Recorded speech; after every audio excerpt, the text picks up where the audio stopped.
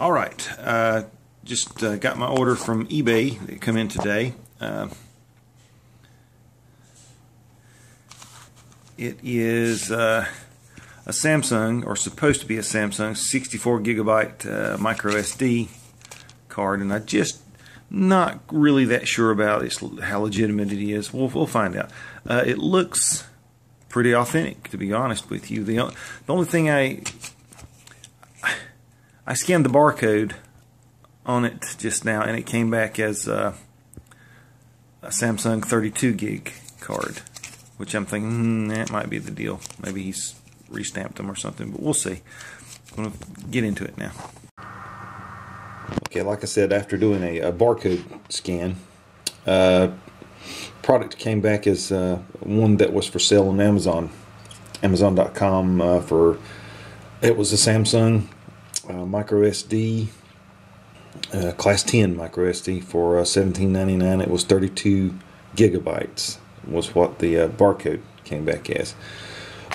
so I downloaded a little program to to test the uh, sectors, I guess, or the partitions on the to test it out to see how large it really was. It shows up in my phone and it shows up in my computer as a uh, what 62 and change gigabyte, which is you know you get a 64 gigabyte card, or uh, that's the that's what hard drives any any type of flash drive is the same way. You get to close to what they what they say. So uh, it came back as faulty. I'll uh, include a uh, a link to the uh, website where you can download the tool to test uh, these boogers but uh, it, it, it is it's not legit, which I didn't think it would be, of course, and uh, no, no, big surprise.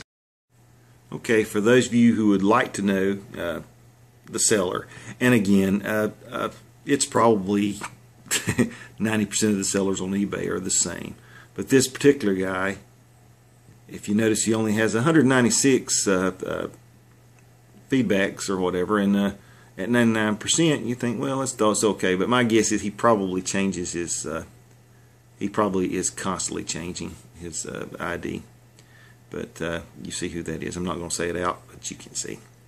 Uh, because, you know, who knows? It may have been a, a, a, flub. Very doubtful. I'm pretty sure that it's the entire thing is a scam. And I, I like I, I, said before, uh, you're better off going to Wally World or uh, or anywhere for our Best Buy. You're going to pay a hell of a lot more, no question about that. But you're going to get legitimately get what you what you went to get. Uh, kind of surprised that eBay has it. Uh, well, they're making money, and uh, that's why he was so quick to refund. Is because if you launch a complaint, they'll do a little bit of an investigation and realize it's like, okay, this guy's screwing people. And like I said, he makes a ton of money off of these cards so it doesn't hurt him to refund. He didn't even didn't even request the item back, which is very unusual. And uh, uh, anytime I sell something on eBay, if there's a complaint about it, don't get me wrong, I, I most definitely will refund money, but uh, I won't uh, just immediately do it. I want to want to know what's up with it. Of course, you know I'm going to question people. Uh, if it's if you want your money back, that's fine, but why? Uh, and I have uh, there was one case of uh, an inkjet uh, printer cartridge that I had sold. Well, the date it had expired on it, and uh, I didn't realize that.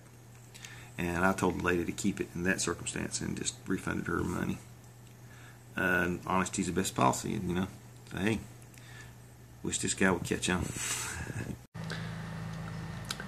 like I said, as you can see, uh, once inserted into the uh, the computer and you click on properties, it shows up as a uh, as having uh, 62.4 gigabytes of free space.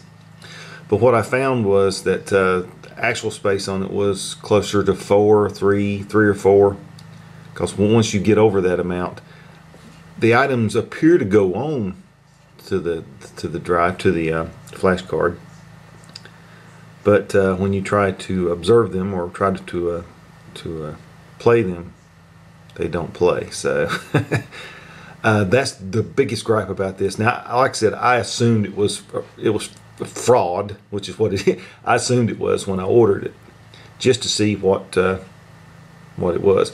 Um, it was a 64 gig uh, micro SD for $29, 29 close to 30 bucks, which is considerably cheaper than it would be at Best Buy, but uh, the class 10 anyway.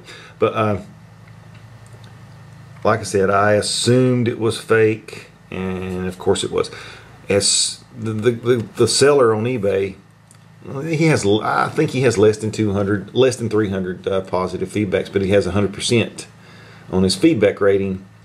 Uh, because a lot of people would simply put it into their phones and assume they have 64 gigs of storage because it says they have 64 gigs of storage and uh, without actually checking it and then one day they're you know they're going to uh, want to look at their photographs which I, am thinking that uh, it would continue to take and save photographs until you actually wanted to play them back. And if you're you know especially if you're you've got memories to which that that's the the main reason I made the videos or this video is because if you've got uh, precious memories in particular and you want to play them back and they're not there to play back because this guy screwed you oh but anyway I uh, sent him a message as soon as I discovered it was less than four gigs available on, on the drive and then and told him uh, what I had discovered nicely, I might add. I'm, I'm, not calling the guy criminal. I'm pretty sure he is, but uh,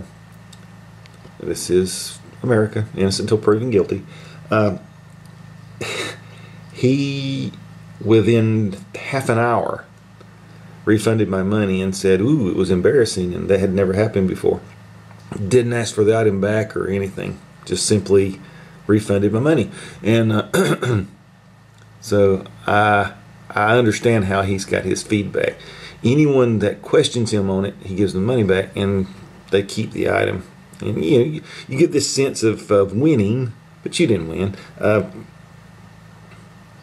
I mean, it didn't cost me anything, but hell, it didn't cost him anything either. I, I would say at the very most, these cards probably set the sellers back uh, two dollars at the most, at the very most, and uh, it, they may even get them for 50 cents to a buck. So uh, buyer beware and understand that uh, if, you, if you want an SD card for your phone or your camera, it's wise to, to hey go to Walmart or Best Buy.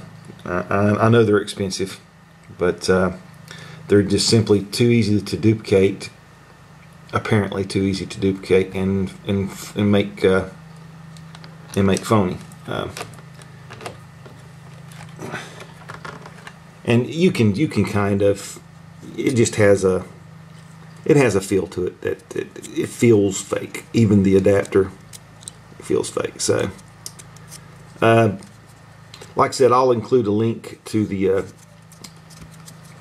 in the in the description to the, the site where you can download the little tester thing that uh, or, or so another way you can actually test without doing anything if you've got uh, if you've got uh, several gigs of uh, movies, or, or, which is another thing I did.